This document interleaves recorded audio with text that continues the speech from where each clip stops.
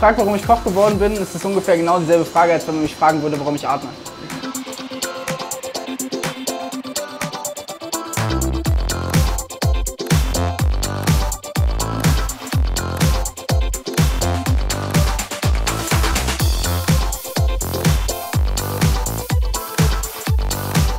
Wir freuen uns, dass unser Azubi Scott beim Kreativcup dieses Jahr teilnimmt. Und gerade beim Kreativcup geht es ja um regionale Küche und da freuen wir uns, dass er startet.